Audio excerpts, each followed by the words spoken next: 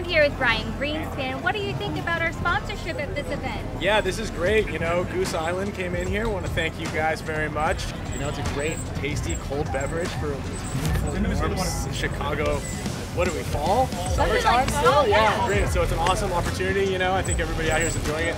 I know uh, after on Sunday, I'm going to be enjoying some as well myself. I'm here with Andy from the Newbies, and he has something to tell you. Well, I just want to say thank you to Goose Island for sponsoring this event. The beer's great, it tastes great.